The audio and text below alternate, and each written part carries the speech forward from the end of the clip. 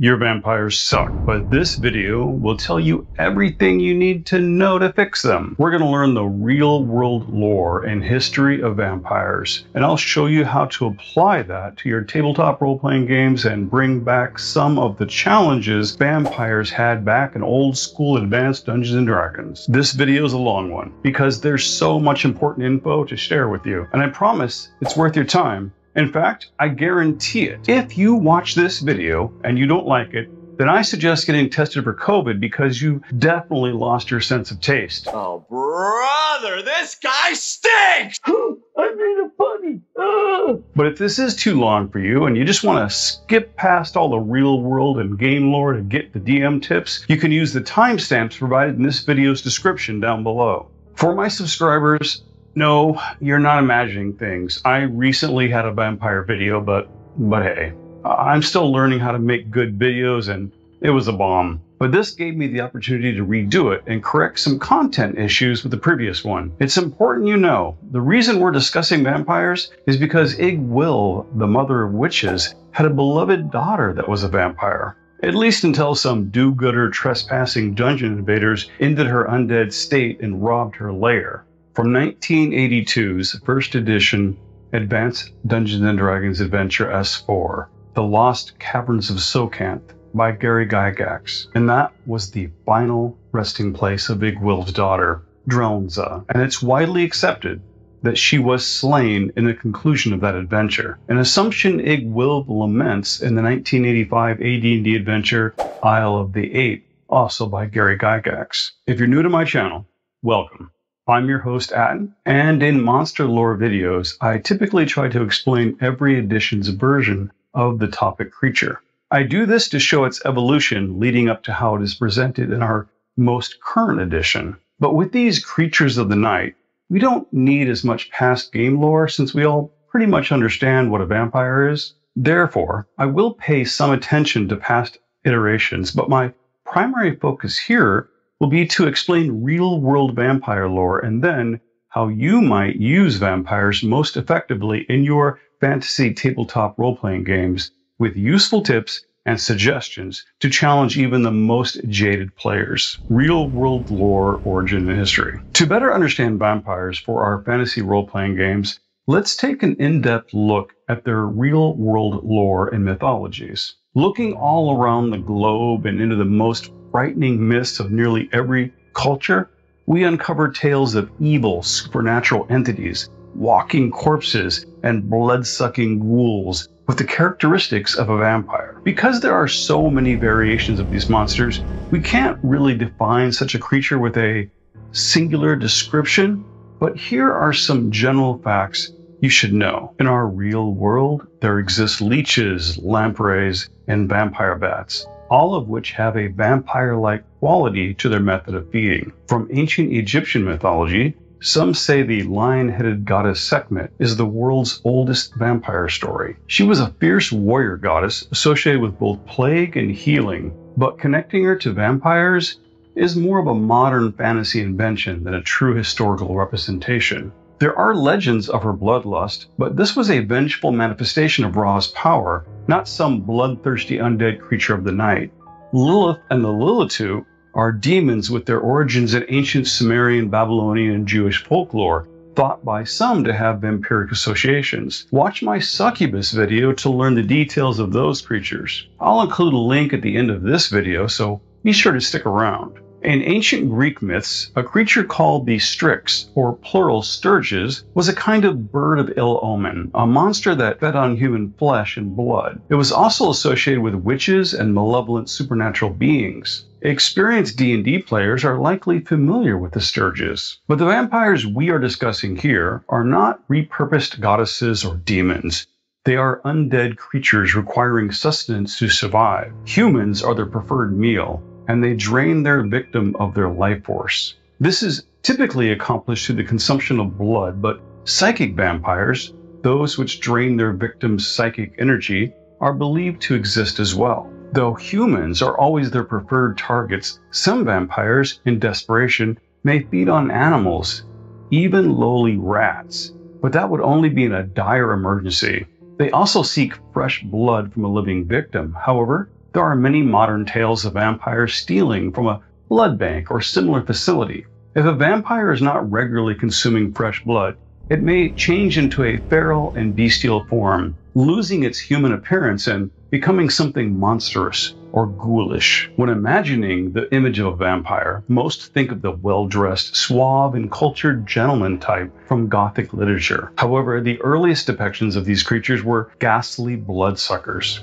They were typically purplish, bloated, and gruesome creatures with blood dripping from their mouth. The image of extended fangs would not become a characteristic until later in the evolution of the myths. They are generally creatures who have risen from the dead, but there are rare examples of living vampires as well, including vampire hybrids, half human, half vampire. From Balkan folklore, a dhampir is a creature that results from the union of a vampire and a human. Somewhere around 1734, we see the first use of the English word vampire with a Y from 18th century vampire epidemics around Eastern Europe. The root word was probably vampire from Hungarian, meaning spirit who feasts upon the living. The so called vampire epidemics is a label given to a series of events in areas of what are now modern day Serbia, Croatia, and Hungary. The people living in these communities became gripped by fears of the dead rising to feast on the living. This vampire panic was a type of mass hysteria which resulted in countless corpses being dug up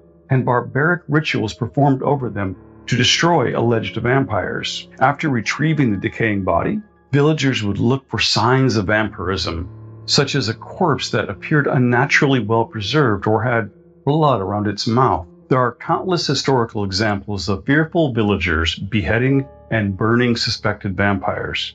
Such rituals might also include, but were not limited to, driving a stake into the corpse's chest. This hysteria was almost certainly the product of primitive medical ignorance regarding decomposition, coupled with fear and superstitious beliefs. This was compounded by frightening rumors of walking corpses that feast on the blood of the living, spreading plague. Such tales persisted throughout medieval Europe and were particularly prevalent during pandemics. Hmm. Unhinged conspiracies during a pandemic. We are so glad we've evolved past that. Because those primitive people lacked the understanding of infectious diseases, ignorance and fear often turned to conspiracies.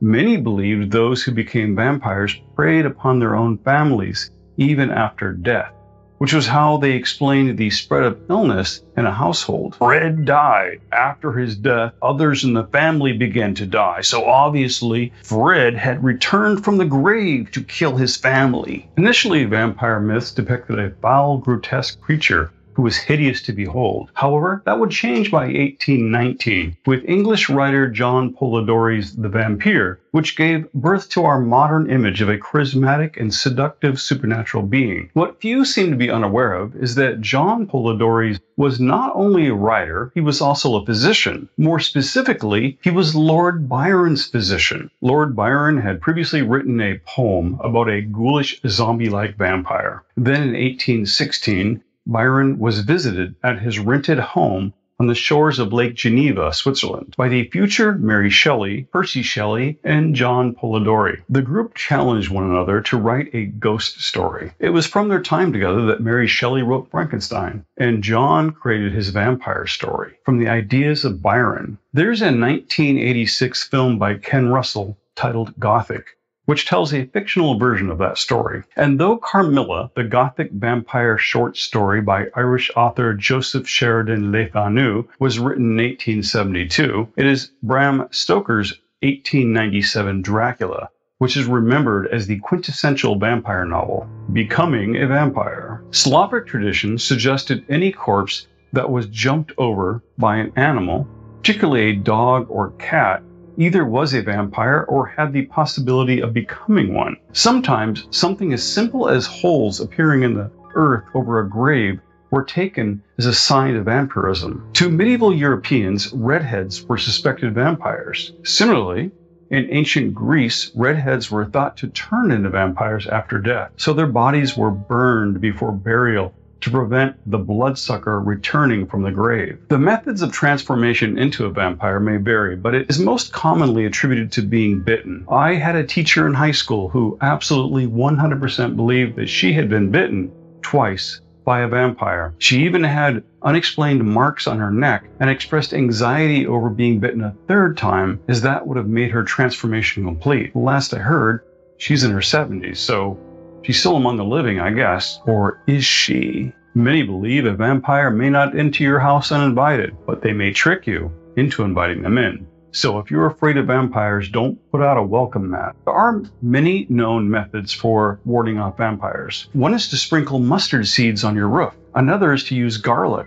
Also, holy water may burn vampires just as sunlight, silver, and holy symbols with the Christian cross being most widely used in pop culture. But as the vampire in the original 1980s Fright Night movie pointed out, that cross only works if you truly believe in its power. If you look online, you'll find dozens of vampire hunter kits reportedly from the 1800s. However, their authenticity is questionable at best. Vampires are not believed to cast a reflection in mirrors. This myth is thought to originate from early mirrors having been made from polished silver. Since silver harms vampires, it made sense that they wouldn't cast a reflection in the material either. As an important addition to this bit of lore, the first verifiable use of silver against a vampire vampire didn't come until 1939 in a Batman comic. And the vampire's weakness to sunlight, that isn't even part of the original lore and myths either. In fact, it wasn't recognized as harmful to vampires until the 1922 film Nosferatu. The belief in garlic acting as a deterrent may have originated with the disease rabies. In 1998, Spanish neurologist Dr. Juan Gomez Alonso drew a correlation between reports of rabies outbreaks in the Balkans from 1721 to 1728 and the vampire epidemics that erupted shortly thereafter. Wolves and bats, if rabid, took on a snarling, slobbering appearance, which was similar to what folklore described to vampires, as would any human also suffering from rabies. Furthermore, the doctor also found that nearly 25% of rabid humans have a tendency to bite other people, which nearly guarantees transmission, since the virus is carried in saliva. Additionally, those infected with rabies are also hypersensitive to any strong scents. This would naturally include the pungent smell of fresh garlic. And did you know the Count from Sesame Street is more than just a cute play on words?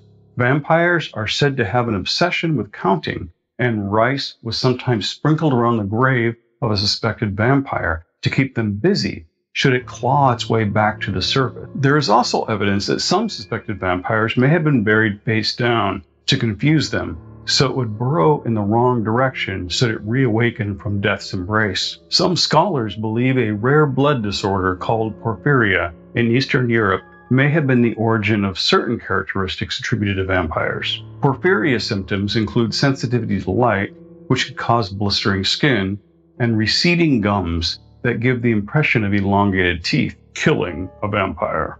Vampires can be killed with the use of a wooden implement to pierce the heart. In Serbia, they preferred a stake of hawthorn or ash. Other traditional methods of killing vampires included decapitation and stuffing the severed head's mouth with a brick. These practices were said to thwart the after devourer, a ghoulish vampire like corpse that chews its own shroud in the grave before consuming its own fingers. Linked to the widespread ignorance about diseases and decomposition, these vampires were believed to kill the surviving members of the family, as it also chewed on corpses in neighboring graves. In 2012, archaeologists in Bulgaria found human skeletons with iron rods through their chests. According to an article published by the BBC in 2012, the pair are believed to have been accused of vampires. Bulgaria is home to around 100 known vampire skeleton burials. As recent as the late 19th century, New Englanders would chop off heads and burn bodies of suspected vampires. They also tore out the heart and lungs, just to be sure. One of the most famous vampires in history was Hungarian noblewoman Countess Elizabeth Bathory, who became known as the Countess of Blood. She earned this nickname from allegations that she bathed in the blood of virgins to retain her youth. The Countess and four of her servants were accused of torturing and murdering hundreds of girls and women between 1590 and 1610. But you should know, however, there is some evidence and speculation to suggest that she was innocent of wrongdoing, and those crimes were fabricated by other powerful elites to confiscate her land and wealth. And then there was Vlad the Impaler, born in Transylvania. He served as inspiration for Dracula. He lived from approximately 1428 to 1477. He was a ruthless ruler. From Wallachian history and a national hero of Romania. And speaking of real world vampires, the vampire of Hanover, Fritz Haarmann, was a German serial killer operating between 1918 and 1924. He sold mystery meat on the black market to a German population struggling and starving after their World War I defeat. Turns out that meat was how he was disposing of his victims, throwing their bones into the river. Now let's talk about game lore. As far as I can tell, a vampire has been featured in every edition of Dungeons & Dragons since its creation. This includes many different variations from real-world cultures around the globe. Dungeons & Dragons vampires first appeared in original D&D's Book 2, Monsters and Treasures, from 1974. It says between 1 to 6 may appear, that they drain 2 life levels when they hit an opponent. Now, back in the early days of Dungeons & Dragons, several types of undead would drain you of character levels. This means your 12 level fighter might become a 0 level fighter if he even survives the encounter at all. This entry also informs us that they must always return to a coffin whose bottom is covered with soil from their native land during the daylight hours. The standard Gothic vampire then appears in 1st edition AD&D's Monster Manual. The last paragraph in that entry tells us about Eastern vampires, which have invisibility instead of charming powers. The vampire with the most terrifying physical appearance comes from 1st edition AD&D's Fiend Folio. A creature called the Penanggalan, this absolutely hideous undead, takes the form of a disembodied woman's head reeking of vinegar, with its internal organs exposed and suspended from the neck as it flies through the air. In second edition AD&D, the gothic vampire reappears. In third edition, we are given vampires and vampires spawn. Now, I really like the entry here for saying that vampire is an acquired template that can be applied to any humanoid or monstrous humanoid creature. A vampire uses all of that creature's base statistics and special abilities, except stated otherwise in that entry. So, allowing my mind to wander a bit, vampire kobolds deep in the tunnels of an ancient city, but I digress. This line of thinking should be applied to our current vampiric creations, which I'll explain in a bit. In 5th edition's von Richten's Guide to Ravenloft sourcebook, which is one of my favorite 5th edition books, by the way, there's an entry for the Nosferatu on page 230, which is offered as a CR8 undead that possesses the endless thirst of vampires, but none of their grace. Then on page 252, we have an entry for the vampiric Mind Flayer, which is a CR5 undead creature. Another of my favorite books for the 5th edition is The Dreaded Accursed by Kobold Press Frog God Games. This book is dedicated to the undead. It reminds me of the monster lore section from Volo's Guide, though that book didn't discuss vampires. The Dreaded Accursed has a lot of useful details and several unique vampire types. That book informs us that most vampires, especially older individuals who have lived out all of their violent fantasies in their youth, find some channel for their intensity of feelings. Some turn to arcane study, politics, or the arts, while some prefer a life of criminal empire building or remain content to simply hone their skills as a killer. Whatever it is, whatever it sets its mind to, a vampire has potentially a millennia to practice and can exceed any mortal. The book also has a section called the Vampire Archetype, which gives us a lot of suggestions for creating a unique vampire and tips for using the abilities already given. I highly recommend this book if you are running any type of undead themed adventure. Game Master Tips. There are just so many books, TV shows, and movies from which to draw our inspiration. In nearly every role playing game, vampires are represented. Even many futuristic games include them in one form or another. The information I am providing here may conflict with some of the lore and role playing suggestions offered in a vampire themed game, such as Vampire the Masquerade. I recommend using whatever meets your criteria for the setting and tone you wish to establish. Vampires and vampiric creatures appear in so many different forms throughout human mythology. This means your vampires can be just as unique. Feel free to take the standard stat block, then change it as much as necessary to give your players a surprise. It doesn't even have to look human. Your vampires can have unique powers, weaknesses, and strengths. Allow your creativity to go wild. I'll provide a link to the Wikipedia page for vampires by region so you can use that as inspiration. And as I revealed to you in this video earlier, some common vampire myths like aversion to sunlight and silver weapons comes from the early 20th century and seem to be entirely products of Western entertainment industry, books, and movies. Therefore, your vampires don't need to follow any of those guidelines and invent your own unique names. And I suggest doing this with all of your monsters in any role playing game. As Game Master, you know it's a homebrew vampire, but to your players, it's the blood drinker of Shadow Grove. Also, when using intelligent vampires as depicted in pop culture, most will be lawful by necessity. Their survival requires structure, rules, and great discretion. They typically have an oppressive and strict society. As represented in the Dreaded Accursed, lesser vampires may be neutral evil, but as they grow more experienced, they shift to lawful evil. While you might find a chaotic vampire, such a creature might be viewed as a threat to the survival of their brethren if it betrays their existence. Such a creature would typically be destroyed by others of its kind as soon as its reckless behavior exposed the others to vampire hunters. Of course, there are always exceptions. Anne Rice's vampire Lestat operated out in the open, and you might have a vampire or vampire hybrid with special abilities allowing it to blend in with other humans. In my campaign world, the region inspired by ancient Egypt has a cult to Sekhmet, that is led by vampires and vampiric minions. But the vampires have a treaty with the local rulers to only feed on criminals and those foolish enough to venture into their district at night. In this way, they still act as enforcers of Ra's will and bring a measure of stability to the communities where they reside.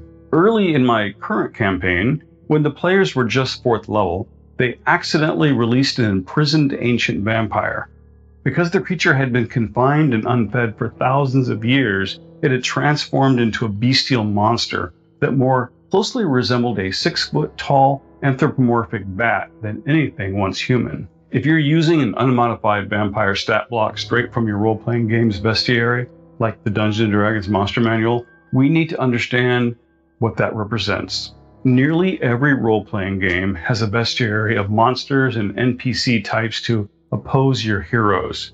But remember, those stat blocks only represent the most common type encountered and should generally be considered a template for the rank and file. So even the lowliest of monsters may have a unique individual with special characteristics found among them, who might rise to a position of power among the others. When dealing with vampires, this is especially true. I love random encounter charts and I frequently use them to inject some unexpected surprises into my gaming sessions. And though I would include vampiric minions, followers, familiars, and so on to such randomness, I would never have a true vampire randomly appear. A vampire chooses the time and place of its encounters, and it usually has its followers soften up the target first. So, when using a vampire, ask yourself is this vampire just a lowly, generic example of its kind?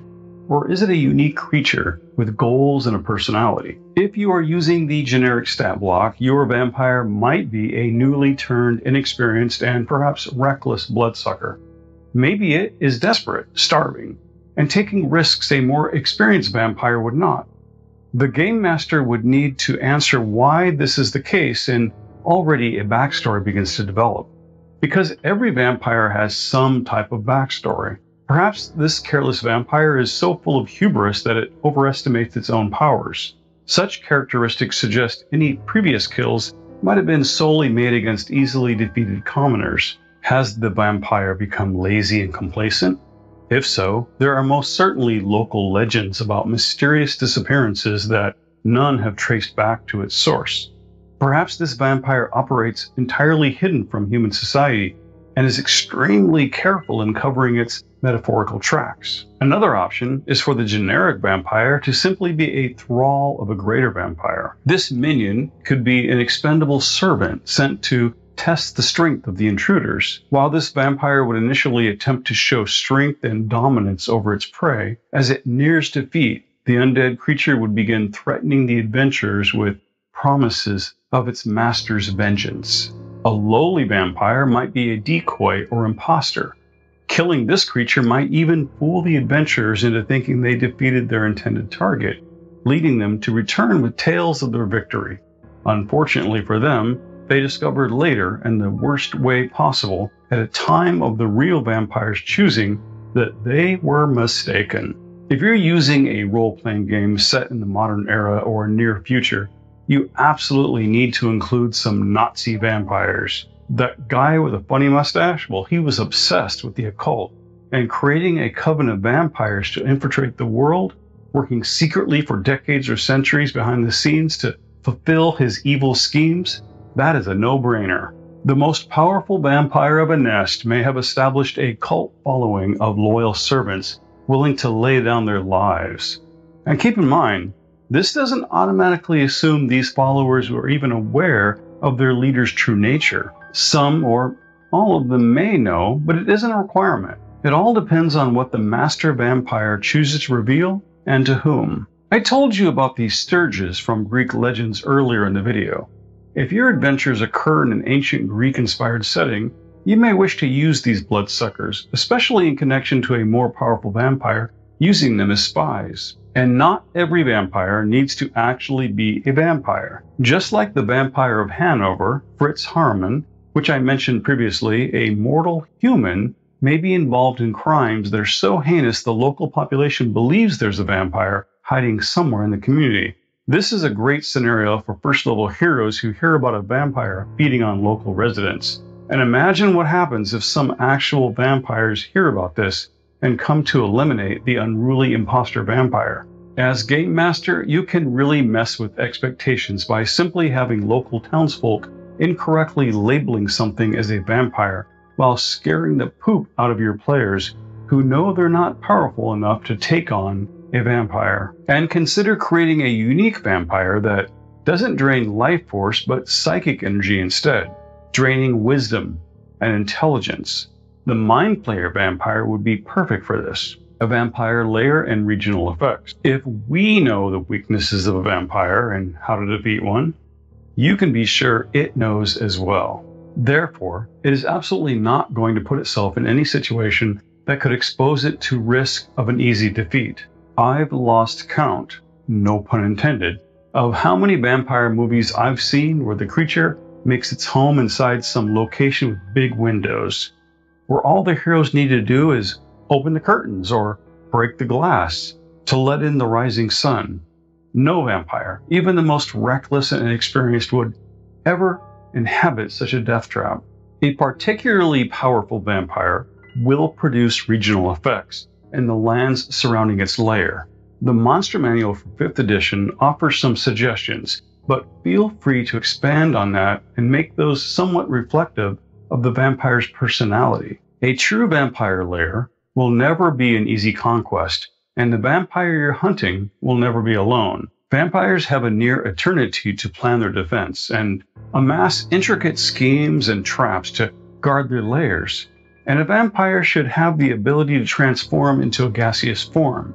This means they could place their coffin behind physical traps and obstructions that mortals could not easily access. In the Lost Caverns of Tsojcanth, for example, Iggwilv's daughter has her coffin sealed behind stone that is only accessible through a small crack, which she enters in gaseous form. The Curse of Strahd is 5th edition's version of Advanced Dungeons & Dragons' classic Ravenloft adventure from the 1980s, and it's really well done. However, Strahd is a bit weaker than his original appearance. To correct this and make him a foe worthy of his reputation, I would update his life force drain ability to that of AD&D's vampires. This means in addition to his listed necrotic damage and hit point drain, the victim would also lose two character levels from each bite attack made against them, reducing their attack rolls until they receive magical restoration. You may even rule that a victim regains one loss level per long rest until they are back to full health.